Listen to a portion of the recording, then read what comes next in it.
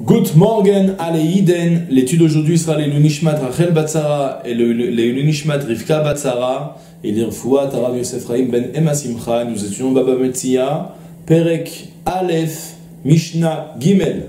היה רוכב על גבי בהמה, וראה את המציאה, ואמר לחברו, תנה לי, נטלה, ואמר, אני זכיתי בה, זכה בה. אם משנתנה לו, אמר, אני זכיתי Lo Amar Klum. On va faire directement la Mishnah dans les mots et après on va déduire la halakha très importante qui en découle.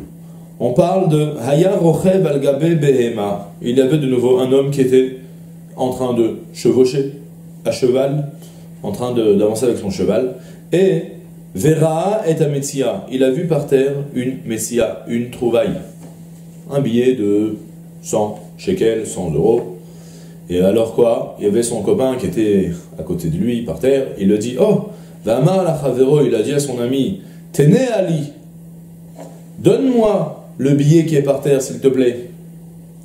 Netala, donc il a pris, il a soulevé. Vamar, oh, Anizachitiba.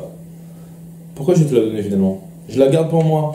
Donc Zachaba, la Mishnah nous tranche, il a acquis la, euh, la donc la, cette trouvaille lui appartiendra. On reprend encore une fois, on parle de quelqu'un qui était à cheval, peu importe, à cheval ou pas à cheval. Techniquement, la Mishnah a exprimé ça pour, pour expliquer pourquoi il n'a pas pu la lever lui-même. Donc il a demandé à son ami, il a dit, oh, passe-moi la, la trouvaille qui est par terre. Et l'autre, pendant que machinalement il commence à lever la trouvaille et à vouloir la lui donner, il dit, mais je suis, je suis un pigeon, ça va pas la tête, je la garde pour moi, pourquoi est-ce que je vais te la donner? Alors la Mishnah nous enseigne, la Zachaba, c'est le copain qui l'a acquise et c'est pas le propriétaire, d'accord? On va expliquer bien évidemment d'ici quelques petites secondes. D'abord, on finit la lecture de la Mishnah. Par contre, im mishenetanalo, si par contre, depuis qu'il lui a transmise, donc il l'a levé machinalement et il l'a donné, il lui dit, mais tu sais, en fait, une fois qu'il lui a donné, Amar, Anizachiti Batrila, Oublié de te dire, je te, je l'ai donné, je te l'ai transmise, mais en réalité, elle m'appartient parce que depuis le moment où je l'ai levée, Zachiti Batrila, je l'ai acquise, je l'avais déjà acquise pour moi. La Mishnah nous nous enseigne, Lohamar Klum, il a rien dit. Pour quelle raison? Très simple.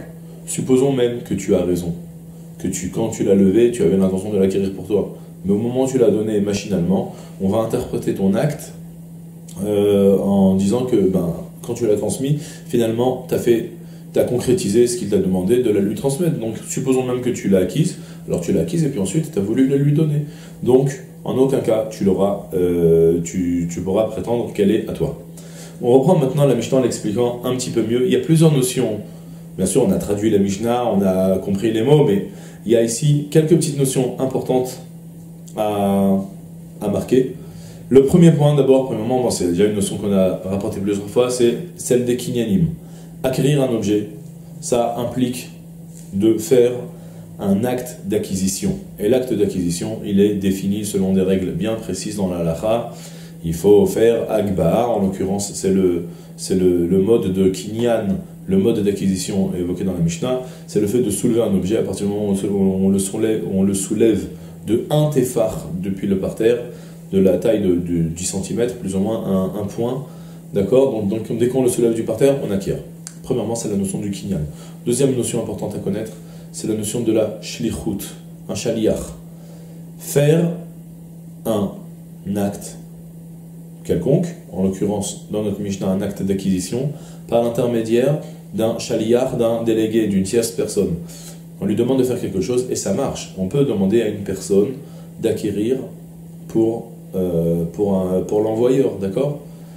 En l'occurrence, maintenant, euh, on revient maintenant, on va expliquer de nouveau la Mishnah en expliquant, en analysant un petit peu, en décortiquant un petit peu plus les mots de la Mishnah.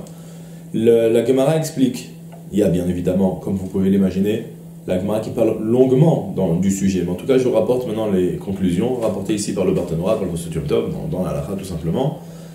Euh, concrètement, lorsque le problème de notre Mishnah, en fait, il est que celui qui était sur le cheval, a demandé à son ami de lui donner, de lui transmettre la trouvaille qui était par terre.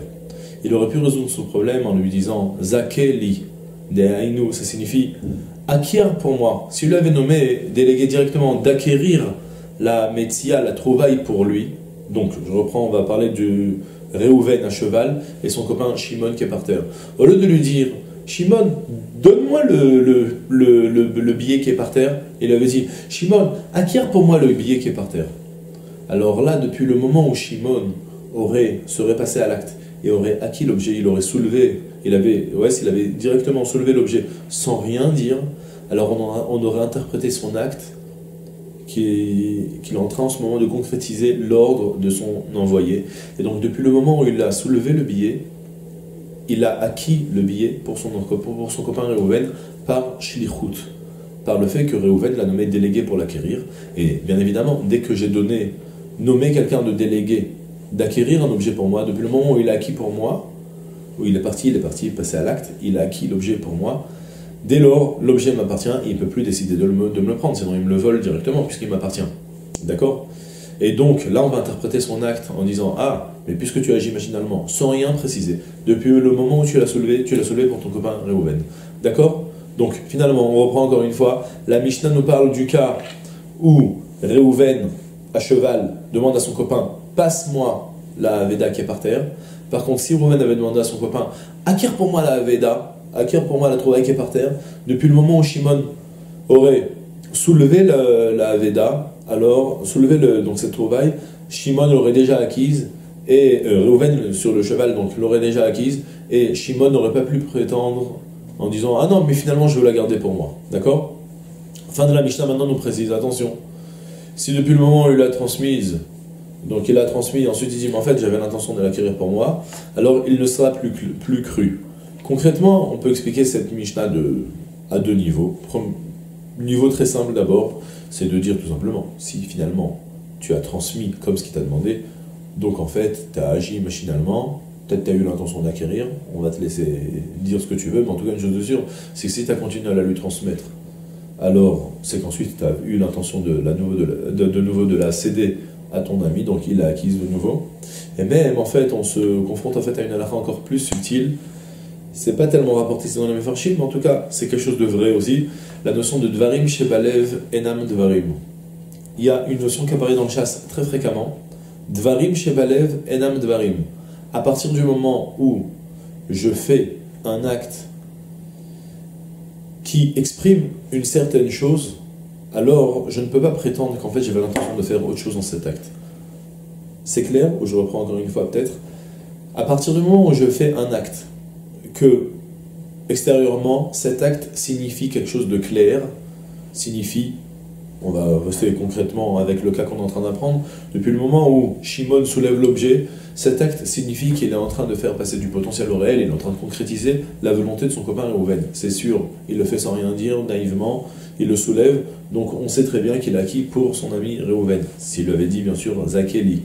Alors depuis le moment où il, où il soulève l'objet, alors on va dire, ben, tu as eu l'intention de l'acquérir pour Réhouven, et maintenant, si tu vas te mettre à prétendre qu'en fait tu as eu l'intention de le, faire pour toi, on ne te croira plus, parce que Dvarim Shabalev Enam Dvarim, tacitement, on comprend que, plus que tacitement, clairement même, on sait clairement que quand tu es passé à l'acte, tu es passé à l'acte sur l'ordre de ton copain Réhouven, et de ce fait, tu n'es plus cru à prétendre que tu eu une autre intention.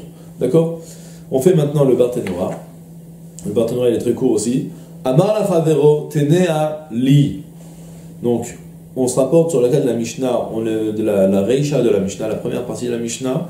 Il a dit à son copain, tenea li, donne-la moi, file-la moi, passe-la moi. Alors le Barthénora nous précise, Avalamar zakeliba. Par contre, s'il avait dit à son copain, zakeliba, acquiert-la pour moi, kana rochev. Depuis le moment où le, le copain Shimon, donc par terre, euh, euh, avait soulevé, aurait soulevé l'objet, dès lors, Kana celui qui chevauche le cheval, aurait déjà acquis l'objet, parce qu'il l'a acquis pour lui, dans son invention. Et dès lors, celui qui a soulevé la trouvaille ne pourra plus prétendre qu'il avait en fait l'intention de l'acquérir pour lui-même. Ensuite, continue sur la deuxième partie de la Mishnah. Donc, depuis le moment où il a transmis la Veda donc Shimon a donné ensuite à Reuven, il lui dit, mais en fait, Anizachitiba, en réalité je voulais l'acquérir pour moi. Alors la Mishnah nous, nous a appris Lo Amar Klum, il n'a rien dit. Pourquoi? Il dit le Bartanora. Parce qu'il s'avère que euh, Reuven a finalement acquis l'objet depuis des mains de Shimon. Prétends ce que tu veux, Shimon, mais en tout cas, dès que tu l'as transmis. C'est sûr que Knaz et Shemeshacham Yad. D'accord? L'autre, il a acquis la trouvaille depuis, euh, depuis le moment où il a, il a, il a tiré, il a, il a prise des mains de son copain euh, Shimon qui était par terre. Mais Kolzman Shaita Beyada Magbia Efkeraita, et tant qu'elle était dans les mains du Magbia, donc de celui qui l'a soulevé, elle était encore Efker.